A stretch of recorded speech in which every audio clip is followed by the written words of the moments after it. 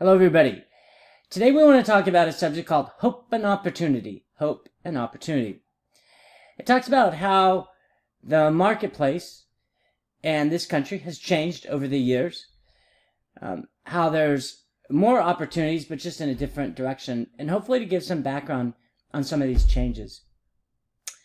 Um, for many, the U.S. No, no longer dominates the world. If you look at some of the uh, countries that are rising today, like China, the European market, they've become much more competitive. In fact, if you after World War II, which was in the 1945s, after that, the U.S. produced about 40% of all goods and services. It's an amazing amount. Um, and that was because the other countries were decimated. We were kind of the only game in town, so to speak. Contrast many years later, um, and that that good job that existed after the 1940s, 50s, and even into the 60s, because other countries were decimated from the war, um, in some cases no longer exist. We're finding out today that the percent of good jobs, which is paid o- over $17 an hour with benefits, has fallen from 25% in the in 1980 to less than uh, a little over 20% today. That may not sound like a big percentage, but that's millions and millions. Um, the, the labor participation rate, the number of full-time jobs, was about 66%. Those people had a full-time job in 2007. And it's now a little above 60%. Um, and that's just in the last 10 years. It's, it's like 62%. Um, and that's almost 6 million people, by the way, now have less of a full-time job. It's a significant occurrence.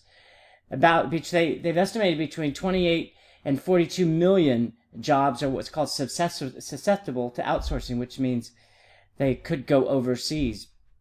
Workers in other countries can do those jobs uh, as good as those in the United States, and to seek lower costs, organizations are moving those jobs overseas. I always say too, if those organizations do not move those jobs overseas, then um, some business overseas will be created and, and create those jobs anyway.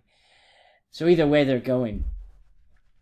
Good news is, though, that I really think that people still can make it. It's just a different economy. We used to be an agricultural economy. Uh, then we moved into uh, very much a manufacturing economy in the 50s. It's a different economy today.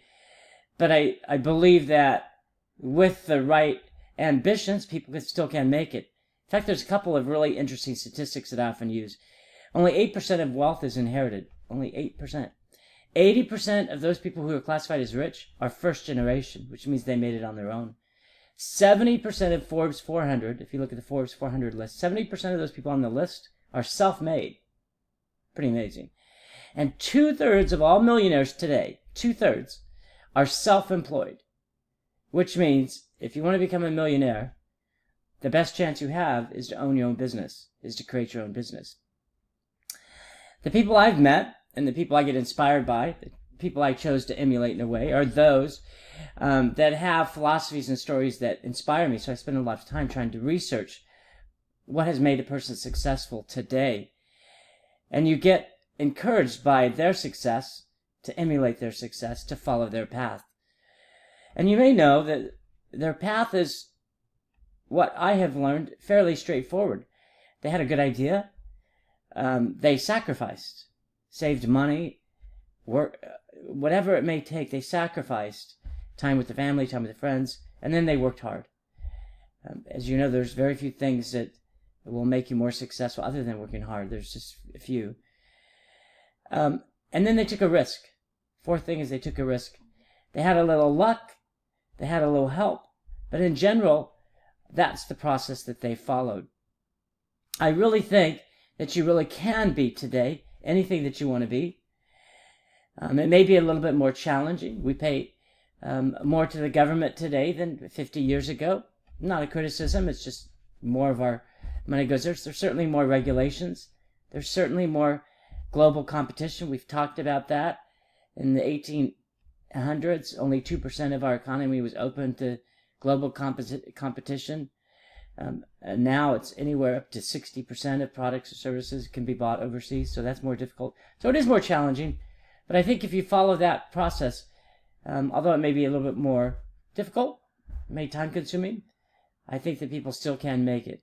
it is the possibilities exist um, for those who choose to take them. And as always, uh, education and experience are the paths that one should follow, and also getting help along the way. Hope that gives you a sense of what today's economy is like. Once we get a sense of what today's economy is like and what it takes to make it today, once we know um, the path, um, then we can certainly choose to be on that path and achieve the ambitions that are uh, within our journey. Everybody, have a great day. Look forward to chatting with you again.